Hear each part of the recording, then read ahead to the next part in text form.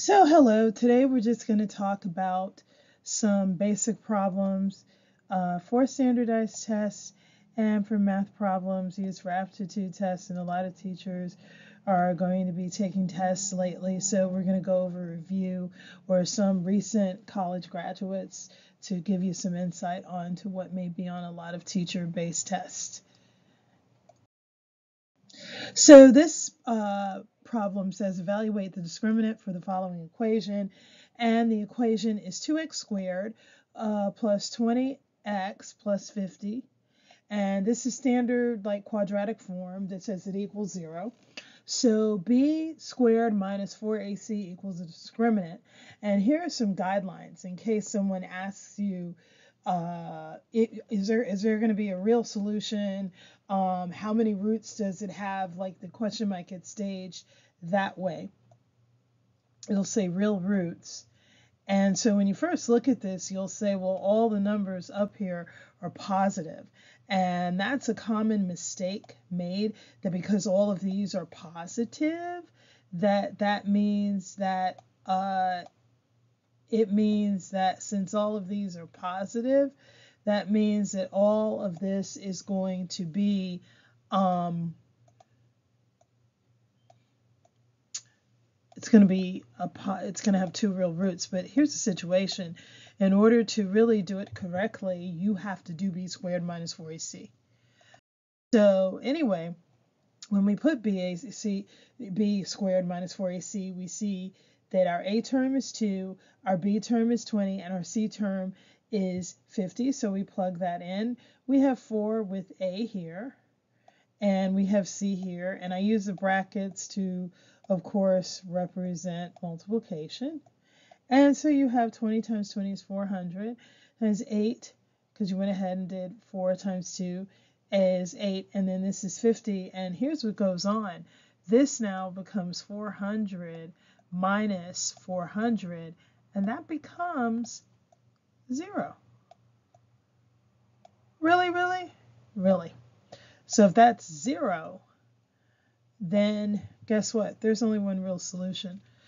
So be careful about how you're doing this. And remember, this C value is larger than this A value, and that might change how things are going to work in this equation.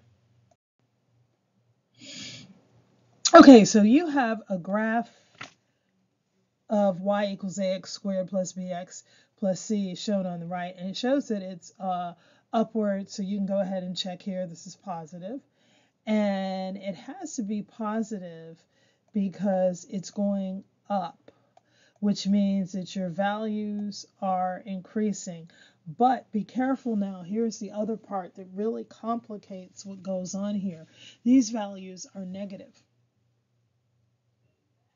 So here it says x equals negative 2, your x-intercept, and um, this is a negative value, so you have this here, there's no real solution, even though the graph is positive.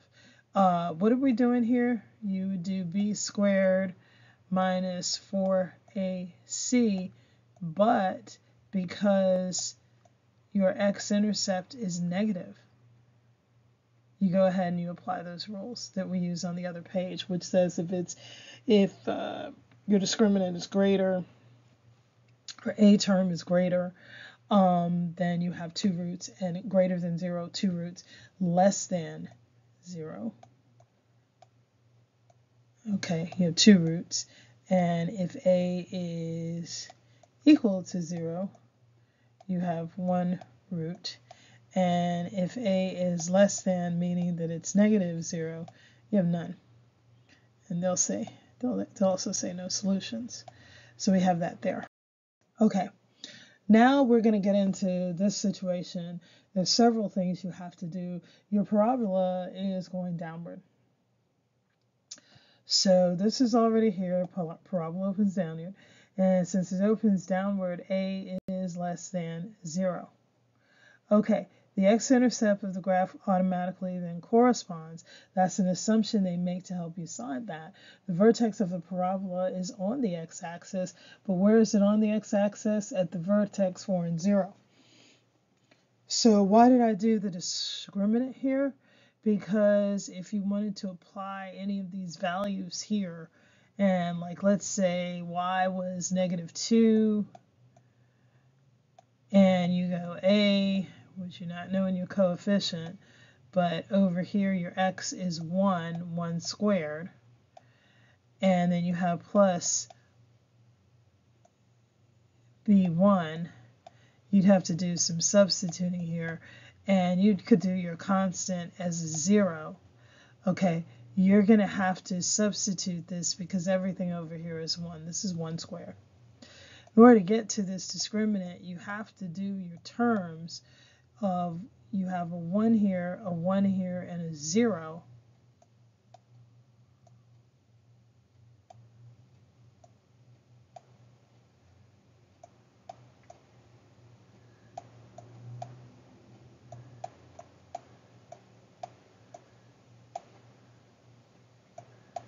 Four times zero, zero, one minus zero, and this is one minus zero, which is equal to one. Okay, the x-intercept 4 is positive. Your y value was given to you is 0. So you got to make sure everything over here is 0. This y value is what makes it real. 4 times 0 is 0 minus 1. So 1 minus 0 equals 1 if that's the case. So in this instance, y is going to equal 1. you have a positive 4. The x-intercept is 4. So you have two possible real roots.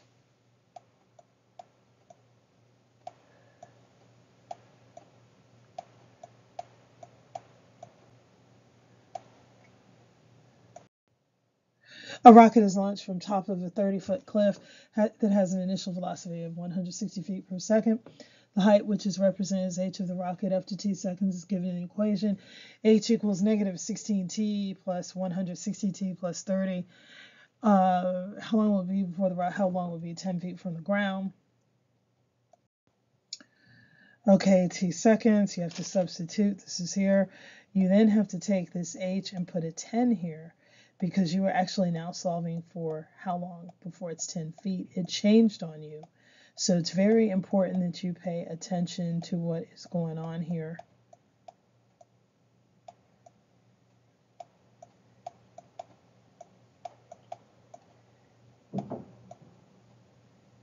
Okay, so this 10 that you see here is now going to replace your 0 for your quadratic, but we're not done yet. Okay, you have your steps here. You convert your H. Uh-oh, this is a small t, but it should be really up top. This is the 2 here. This is the 2 here. Sorry, guys, that it's at the bottom, but it's the 2 here. And this is 0, and it's 10. So you go 10 minus 10 is 0 here, but you have to take this 10 and subtract it. Its additive inverse has to go. That then brings the equation to 20. 16t, 20. Come on, let's go. Solve using a quadratic equation to solve the new equation. And this is your quadratic formula, negative b plus or minus uh, radical b squared minus 4ac over 2a. 160 squared minus 4 times 16 times 20. This is negative 32. That's at the bottom. And then you solve this 4 times 6, 64 times 20, and you do math and then I went here over here 14 times 6 I just did the steps here. This is 64 times 20 64 times 20 gives you 1280 then you subtract that from what you had 160 times 160 gives you 25,600 Remember, you have to keep this here and do a plus or minus of both, both values. So you have this here, you have under square root 24,320, negative 60 plus or minus. minus, and remember that these, if you can, you can try to cross them. Usually you try to cross across all three. And when we go back over, has to be the positive number for your answer. So let's get that answer because you're waiting to see when the rocket goes up and then drops. That's what it's got to do. It's got to do a fission. So negative 1761 is one answer because that's what happened when we sub when we uh, subtracted 60 from positive 155 over 94, then divided by 13, 30, negative 32. Now when we do the positive negative 60 plus 155.94 over negative 32, we still end up with this negative number. What happens is um, when you do negative 60 minus minus 154, that stays negative, that stays negative, and that's how you get your positive value of 19.16. So your positive value of 19.16 is your answer, and they might ask you to round it, and it would be 19. And if they ask you, you know, to round it to the nearest tenth, you need 19.1. So for the last problem here, this uh, equation in the textbook asks you to solve um, the function cumulative number of deaths from disease X years after 1984. Estimate the year that there were 89,000 deaths. Well, guess what? This comes off as if they're trying to set it off as if it's a derivative and you're going to take something out and solve it when all you're doing is straight quadratic. Your A term is 3,713. B term is 5,417. C term is 5,001. So here's what you're going to do. And you're going to solve it all out. It is ugly, ridiculous hopefully when you take the teacher test nothing is this awful but the students you have to know how to do that because students actually have this in an algebra book. So if you started in 1984 let me go ahead and change this ink here started at 1984 and you add it up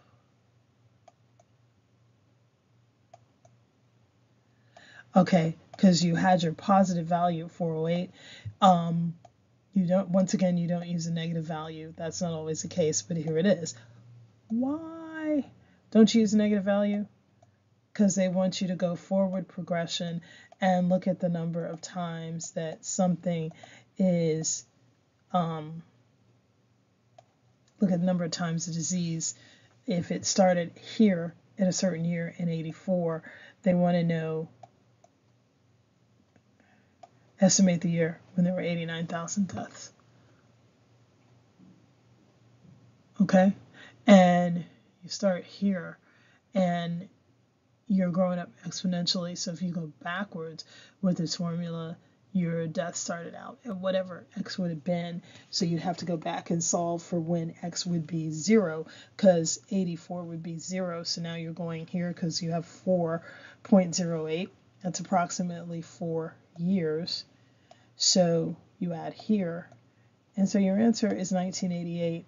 These problems intimidate a lot of people. A lot of people say, How do I do this? This and that. When they tell you to solve for the quadratic, that's the first thing.